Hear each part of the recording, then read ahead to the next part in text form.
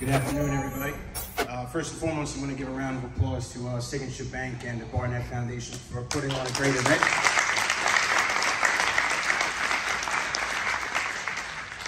My name is Casey Powell. I'm the creator and host of Knicks Fan TV, also host of uh, NBA Radio and Sirius XM. I want to salute these two legends up here on the dais, Clyde and Dr. Barnett. Thank you for bringing us two championships to New York.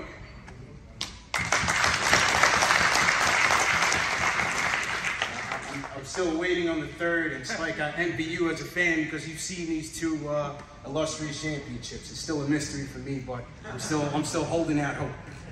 Uh, my question is for, for Clyde. You know, a lot of the times when I speak to the generation who saw these championships, they always talk about the teamwork that you guys exhibited, how together you guys were the cohesiveness of that team on the inside.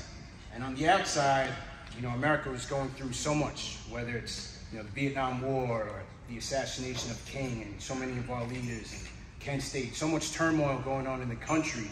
So my question is, what impact did those events have on the locker room and how were you guys able to keep it together that you were able to play together and, and win a championship? Uh, I was so blessed to be uh, one of the young guys on the team. I mentioned Barnett was one of my idols, the captain Willis Reed, his tenacity on the court, the leadership that he provided. Bill Bradley, Bradley's on the board of Barnett's Foundation. He's not here today, but Bradley put a lot of pressure on all of us because when people approached him, man, he would be the first guy to go to Harlem to do something for black people, you know, without hesitation. And, I'm like, man, this is what I should be doing. But Barnett was always in the forefront with that. A guy named Walt Bellamy, Willis. So they were very cognizant of uh, what was going on. And that's why the Knicks became so popular. Because with all the turmoil in the world, all the excruciating circumstances, for two or three hours, you could watch white guys and black guys playing as a team. Unselfish basketball, hit the open man, defense. You know, and we became uh, became a hit with the Garden crowd because before that, the games were just on cable. You know, they weren't on Friday night Knicks. I used to hate Friday night Knicks because that was my party night, and then we started playing on Friday night, man. But the cohesion you mentioned, I mentioned Red Holzman was the catalyst. Uh, he was colorblind. He never saw color. You work hard in practice, you get in the game. Uh, you know, Bill Bradley, Dave DeBusschere, all these guys. I never met their parents, but I'm sure their parents were like my parents. And I mentioned my grandfather and father taught me never look down on a man. Their parents did the same thing. Unselfish play. We knew that when the team win, everybody win. There's no I in team. You know, so that was never a problem about who took the shots as long as we got it done. Willis Reed was an excellent leader. Everything you heard about the captain was true. Probably owes about $25,000 right now. He's always borrowing money from Willis.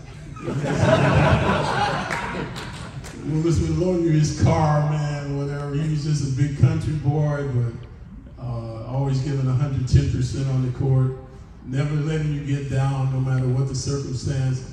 So you guys all saw the clip about my Willis Reed game. You know, I, at the time I was 25 years old, and I thought I was the MVP. So I never held a grudge against Willis because the good times were way more than the bad times.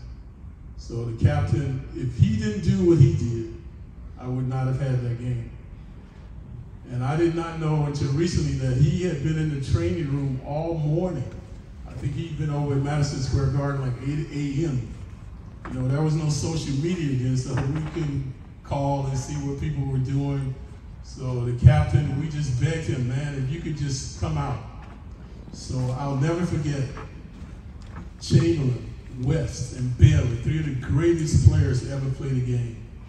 When Willis came out, they were psyched out. They stopped doing what they were doing. They started staring at Willis. And I go, man, we got these guys. And you guys got so vociferous, the crowd started yelling. And then Willis made his first shot. Then he made his second shot. I go, there's nothing wrong with this guy, man. but the die was cast. After that, the Lakers were psyched. And, you know, we would go on to win that first championship. But obviously, as you were mentioning, man, it's all about the team. Uh, you know, success. I had great coaches throughout my career. I played 12 years in the NBA. I never had a technical foul call against me. Because growing up, my coaches never allowed me to argue with the refs, so I was never in the habit of that. And, and I remember this coach said, success, Frazier, success, son. There's no elevator to success. you gotta earn it, man. You gotta earn it. So Barnett, like myself, growing up under excruciating circumstances, you always had to give 110%. Uh, growing up under the oppression of segregation, you know 99 and a half won't do. Mm. You got to give 100, man, 110% to get that job. And at that time, there were, was a quota system. Only so many blacks on each team. Maybe two blacks on a team or three blacks on a team, so you had to deal with that. But, you know, I still would not give anything for that experience. And like I said, being one of the younger guys, I had so many positive role models to guide me. And uh, when those scenarios were happening, with Martin Luther King. Willis Reed, you know, we would go to sit-ins, but Willis was one guy who we could not take on sit-ins. If you hit Willis, he's going to hit you back. so we would tell, okay, Willis, you don't have to go. You know? but the rest of us, we were always there, cognizant of projecting a positive image, especially for our youth. Thank you. Dr. Dick Barnett, Walt Clyde Frazier, I was there May 8, 1970.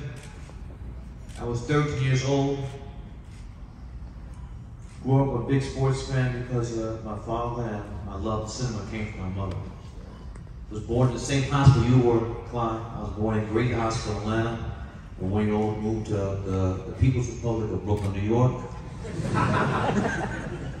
Brooklyn Public Education, kindergarten to John Dewey High School in Coney Island.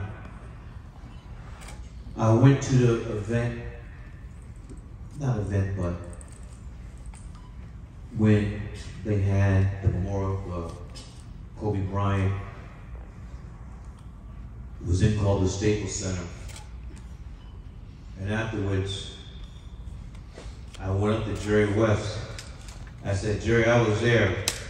And when Willis walked out, you, Wilt Chamberlain, because I saw it just like you described it, Clyde. They, they were in the way, they were in the, Clyde came out, excuse me, Willis came out after teams just started their warm up. And Willis dragged his leg out, down to, to this day, that's the loudest, my ears almost split. I've never heard a noise. I've been to Super Bowls, all types of stuff, World Series. But May 1970, never heard a noise like that. And as you said, Clark, Wilt Chamberlain, Elgin Baylor, Jerry West. The whole team stopped their layup line like they were frozen. So I went up to Jerry West. I said, Jerry, I was there. You you stopped. No, no spike. It wasn't me. That was everybody else. And I said, Jerry, that was you. But then Elgin Baylor walked in, the late widow, and I didn't want to ask him that because already I knew I, I saw my eyes. The whole team, Laker team stopped. And we won that. Another thing, Clyde, I used to go to this club called the West Boondock. And my father played there, bass, Bill Lee. And uh, you signed something. My father came up to you, this is my son Spike, boom, boom, I still got it. So I want to thank you for, for doing everything. And one last thing, Clyde. Has any New York Knicks point guard ever come up to you all the years you've been on radio and to any New York Knicks point guard say, Clyde, teach me something. I'm listening. Give me a tip. What am I doing wrong? Allan, only Allan Houston and Greg, Greg Anthony. And Greg Anthony? Yeah, yeah. That's No, goddamn 30, shame. 30 something. I'm telling you, if I get asked out to Hitchcock and weight filmmakers, I'd be like writing this stuff down. Thank you.